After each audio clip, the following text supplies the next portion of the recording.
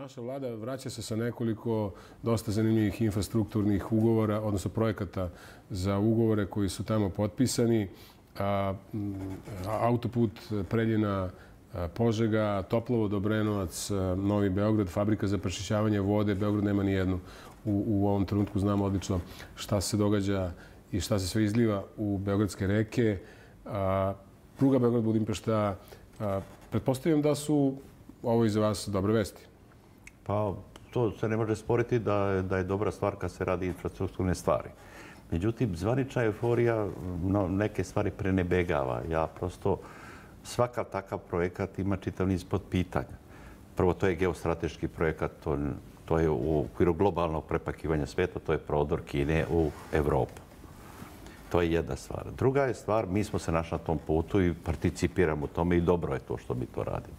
Međutim, vi kad se dodatno zadužujete za jedan tako veliki infrastrukturni projekat, onda se otvara nekoliko pitanja.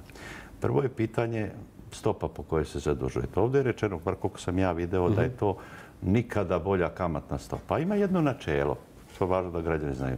Kad se država zadužuje po stopi kamatnoj koja je veća od stope rasta, ona upada dugoročno u problem. 2,5% je veće od stope rasta, prosječne stope rasta u zadnjih 3-4 godine. To je jedna stvar. Druga je stvar, kad se radi infrastrukturni projekti, kad dobijete investicioni kredit, onda vi nikad ne znate šta je kalkulacija.